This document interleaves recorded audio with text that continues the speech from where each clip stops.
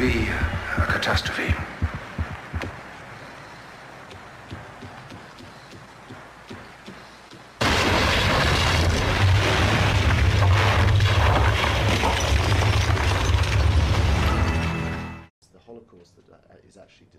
Có ba lý do khiến Hitler thoát chết.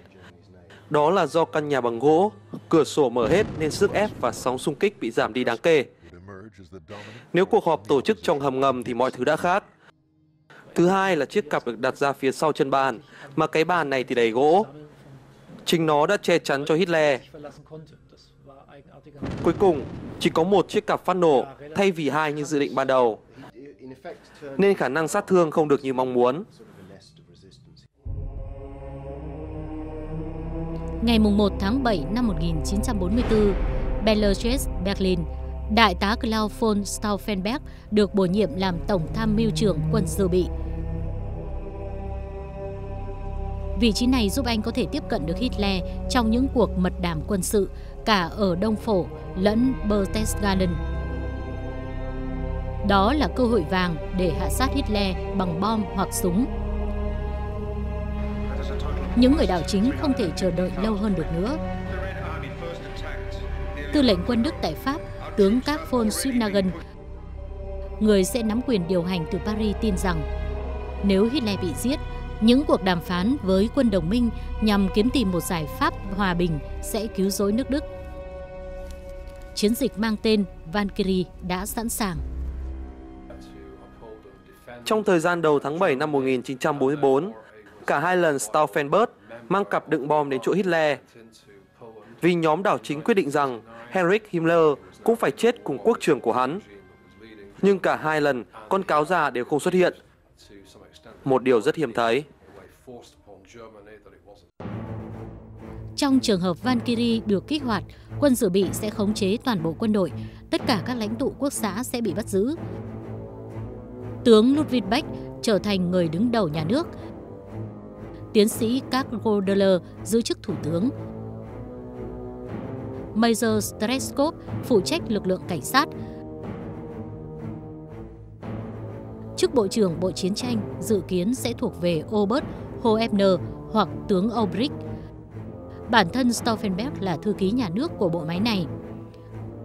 Thống chế Edwin von Wisleben, người đã nghỉ hưu 2 năm trước đó, sẽ làm tổng tư lệnh quân đội. Một kế hoạch đầy may rủi, nhưng không phải là bất khả thi. Khi đó có tin đồn cho rằng cơ quan mật vụ Gestapo dường như đã đánh hơi được điều gì đó và nhóm đảo chính có thể bị bắt bất cứ lúc nào. Chính điều này đã thúc đẩy ông tôi và các cộng sự đưa ra quyết định phải ra tay ngay tức khắc.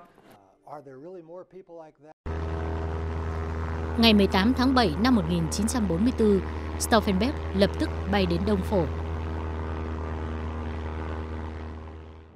10 giờ sáng ngày 20 tháng 7, căn cứ Volsan nằm sâu trong rừng Katyn, phía đông bắc Ba Lan, nơi người Đức gọi là Rastenburg. Stauffenberg được triệu tập tới đây để tham dự một buổi họp do Hitler chủ trì. Mặc dù luôn bị ám ảnh bởi chứng bệnh hoang tưởng khi cho rằng mình sẽ bị ám sát, song chẳng hiểu sao lực lượng mật vụ của Hitler không hề lục soát các sĩ quan tới họp.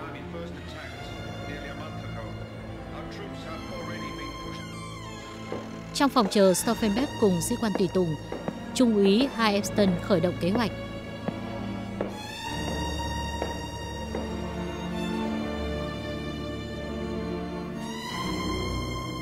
Họ đặt gói thuốc nổ thứ nhất vào chiếc cặp da.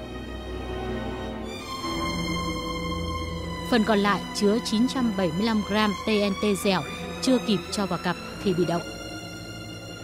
Stauffenberg chỉ kịp kích hoạt bộ hẹn giờ của gói thuốc nổ đầu tiên.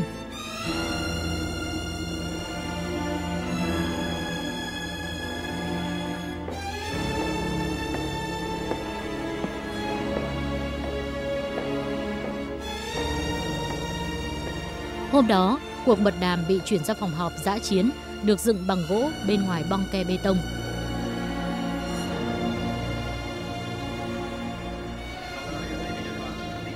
mười hai giờ mười, cuộc họp bắt đầu. Von stauffenberg cố ý đặt chiếc cặp bên dưới cái bàn dài.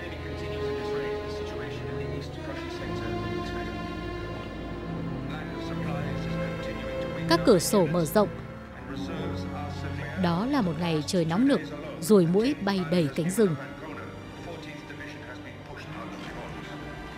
Sau 10 phút, von Stauffenberg kiếm cớ đi ra ngoài.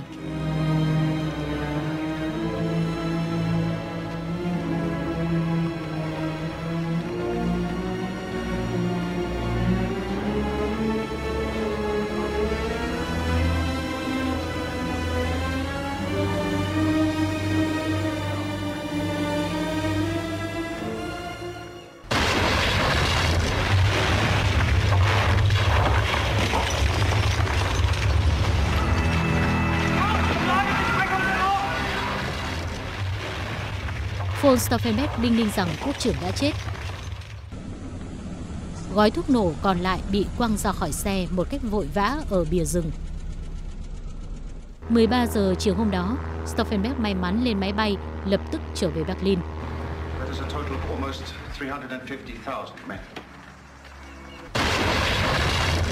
Bốn sĩ quan bị chết tại chỗ, nhưng trong số đó không có Hitler.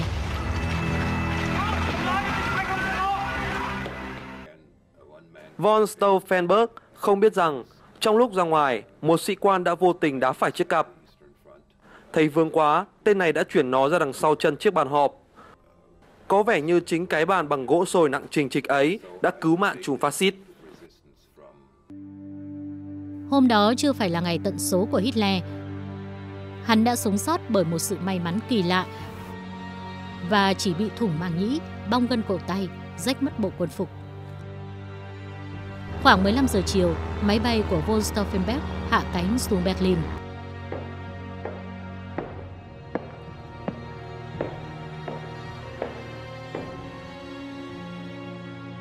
Tướng Erich Fensierben, một người trong nhóm đã thông báo rằng Hitler vẫn còn sống sau vụ nổ. Đó là một tin rất xấu cho cả người nghe tin lẫn người thông báo, bởi vì ngay sau đó, nhóm đảo chính lập tức rơi vào hoang mang, hoảng loạn Kế hoạch Van Kari không thể tiến hành được vì chẳng ai nghe theo họ một khi Hitler vẫn còn sống. Nhưng nó vẫn được khởi động trong bối cảnh những người đảo chính đã hoàn toàn mất phương hướng. Tại trung tâm đầu não đặt ở Benlerbock, mọi thứ trở nên rối loạn và tuyệt vọng. Ở vài nơi, kế hoạch vẫn được tiến hành do các sĩ quan không biết về việc Hitler còn sống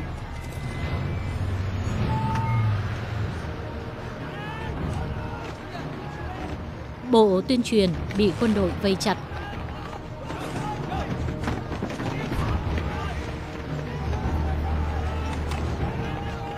Joseph Goebbels gần như bị giam lỏng. Tại Paris, tướng Subnagan ra lệnh bắt giữ các sĩ quan đứng đầu lực lượng SS và SD ở Pháp.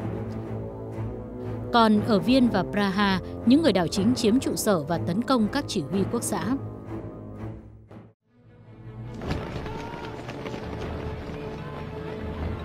Tại Berlin, đây là thời điểm Heinrich Himmler vào cuộc. Bộ máy chém giết của Gestapo khởi động một cách nhanh chóng và hết sức chuyên nghiệp. Các bức thư và nhật ký của những kẻ liên quan bị thu giữ đã giúp cơ quan mật vụ Đức sâu chuỗi họ và các sự kiện với nhau. Tất cả đều bị phát giác. 4 giờ sau khi tin Hitler vẫn còn sống được loan báo trên đài phát thanh Berlin, những người đảo chính mới soạn thảo được thông báo gửi đi các nơi công bố rằng họ đã giành chính quyền. Tuy nhiên, mệnh lệnh này trở nên vô giá trị vì người ký là thống chế Wieslerben, người đã về vườn trước đó 2 năm. Thời điểm quyết định đến vào lúc 19 giờ khi mà Hitler hồi phục. Qua điện thoại, hắn ra lệnh cho thiếu tá Otto Remmer vãn hồi tình hình ở Berlin. Winter von Kluck, kẻ vừa được bổ nhiệm tư lệnh quân phát xít ở mặt trận phía Tây, sau khi phát hiện ra Hitler còn sống, đã trở mặt và nhanh nhẩu bắt giữ tướng Suypnagan. Đến 22 giờ, tướng Ludwig Beck, bộ não của cuộc đảo chính hiểu ra rằng trò chơi đã kết thúc. Sau Beck, đến lượt Treskov, rồi Suypnagan tự tìm đến cái chết.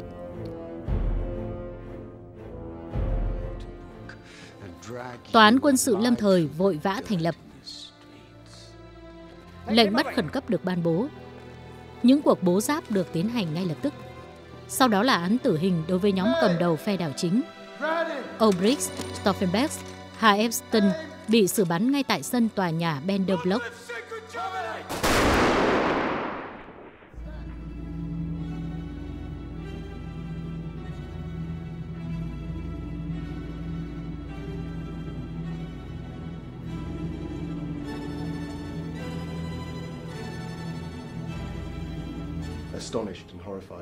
Có khoảng 5.000 người bị bắt và 200 người bị tử hình. Phần lớn trong số họ chẳng liên quan gì đến vụ ám sát. Đó là do Gestapo và cá nhân Himmler muốn ghi điểm với quốc trưởng của hắn mà thôi. Những cuộc bắt bớ rồi hành quyết tiếp tục được tiến hành cho đến ngày chiến tranh kết thúc.